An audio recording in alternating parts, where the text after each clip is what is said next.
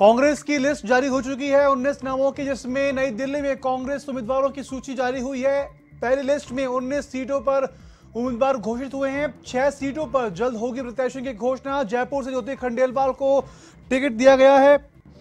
वहीं बात करें बीकानेर से, मदन गोपाल मेघवाल को टिकट दिया गया है। चुरू से झुंझुनू सीकर, जयपुर, अलवर, भरतपुर, ऐसे कुल मिलाकर के 19 सीटों पर लोकसभा प्रत्याशियों की घोषणा है, वो की गई है। तस्वीर आपके सामने है, नामों की जानकारी आपको टीवी स्क्रीन के माध्यम से दी जा रही है। अलवर से जितेंद्र सिंह को टिकट दिया गया है, भरतपुर से अभिजीत कुमार जाटव को टिकट दिया गया है, करौली से संजय कुमार जाटव को टिकट दिया गया है। दौसा से सविता मीणा को टिकट इसमें दिया गया है। वहीं टोंक, सवाई माधोपुर से नमो नारायण मीणा को टिकट दिया गया। नागौर से ज्योति मिर्धा को टिकट दिया गया है।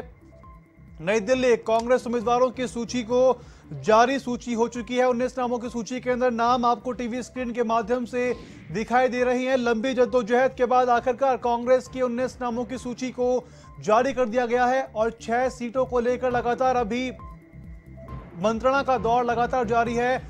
ये सभी सीटें लगातार कांग्रेस ने जारी कर दी है। कांग्रेस की सीटें जारी होने के बाद में लगातार, जहाँ पर पहले दौर चल रहा था कि कांग्रेस की लिस्ट कल सुबह आएगी, लेकिन कांग्रेस ने 25 नामों की जगह पर 19 नामों का ऐलान कर दिया है। 19 नामों के अंदर तमाम जो 19 नाम हैं, आपको टीवी स्क्रीन के माध्यम से दिखाए जा रहे हैं।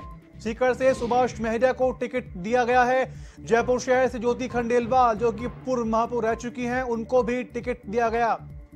चोरू से रफीक मंडेलिया को टिकट दिया गया है। जो पूर्व विधायक रहे हैं, श्रवण कुमार, पूर्व विधायक झुंझुनू के, उनको भी टिकट दिया गया है। सीकर से सुभाष मेहरिया, जो पूर्व मंत्री रहे हैं, उनको टिकट दिया गया। तस्वीर आपके सामने है। किन किन को टिकट दिया गया है, वो सभी नाम आपको टीवी स्क्रीन पर विथ फ़ोटो आपको दिखाई जा रहे हैं। किन को टिकट दिया गया है?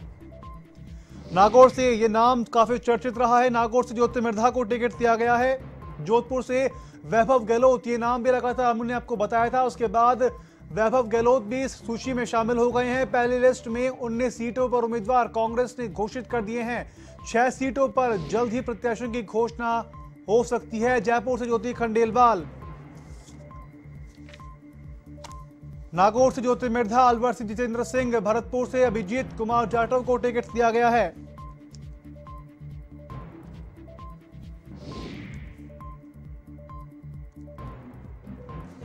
टोंक सवाई माधोपुर से नमो नारायण मीणा को टिकट दिया गया। नागौर से ज्योति मिर्धा, ये नाम काफ़ी चर्चित रहा है। नागौर से ज्योति मिर्धा को टिकट दिया गया है। पाली से बद्रीराम जाखड़, जोधपुर से वैभव गहलोत। वैभव गहलोत आपको बता दें कि ये अशोक गहलोत के पुत्र हैं। बाड़मेर से मानवेंद्र सिंह को टिकट दिया गया है। जालोर से रतन देवासी को टिकट दिया गया है।